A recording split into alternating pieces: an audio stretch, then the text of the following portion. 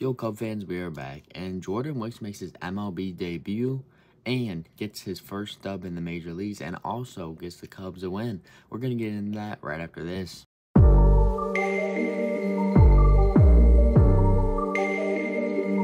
Alright, so Jordan Wicks makes his MLB debut and wow, what an amazing performance honestly, I would have never expected this from him. You know, he gave up that first home run to Ke'Bryan Hayes, and I was like, oh man, here we go. And I was kind of worried after that first home run. But I think the Cubs have just found the guy that they need to fill in that starting role for the Cubs. They we need one more at the we need a fifth guy, and I think Jordan Wicks just earned that spot. Jordan Wicks was on the bump and he pitched amazing. I mean, he made history in the Cubs organization. He had pitched five innings, two hits, one ERA, one walk, and nine Ks.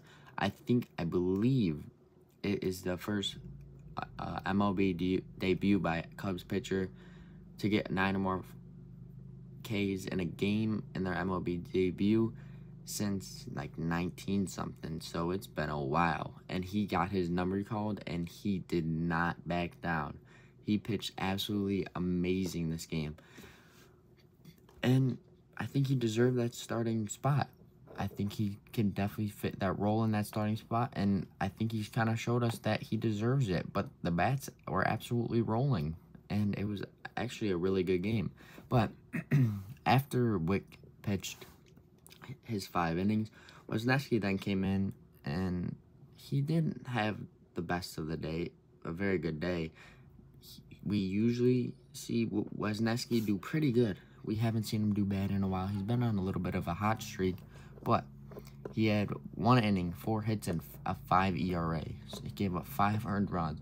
So it was really, it wasn't his day, and you know, David Ross chose the wrong closer, but Leiter Jr. and Palencia came in and did very well. And then you already know Adbert Alzolay came in and he got his 21st save this year. So I'm thinking the bullpen is a little fatigued and it's kind of a little scary. But they did their thing, and they got out of it, and they got the win. We won 10 to 6.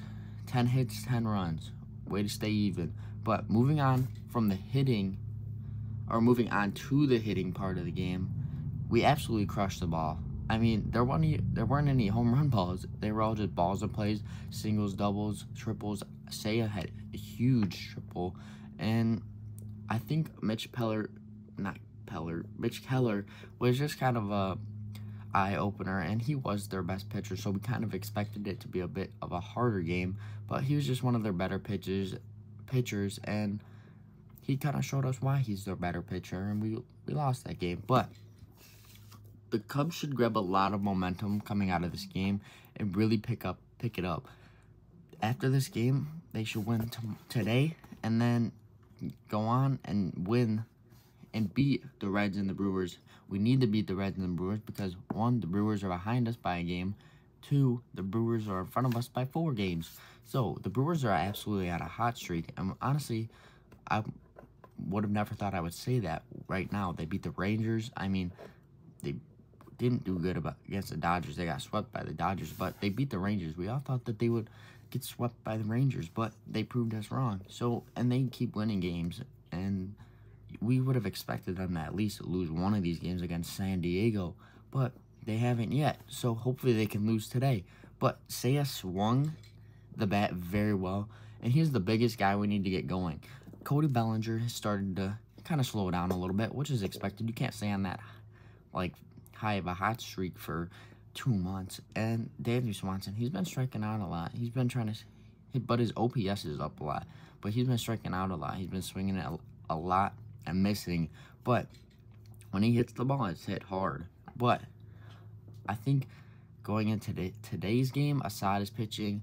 I think we can do very well, especially with Assad on the bump. He had a good outing against the Pirates last time he pitched, but Patrick Wisdom is back in the lineup against the Pirates today, and I don't know what David Ross is thinking.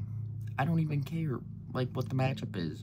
Patrick Wisdom should not be playing. But that is just my thoughts. So let me know what you thought about yesterday's game and again about the rookie Jordan Wicks pitching and pitching an absolute gem.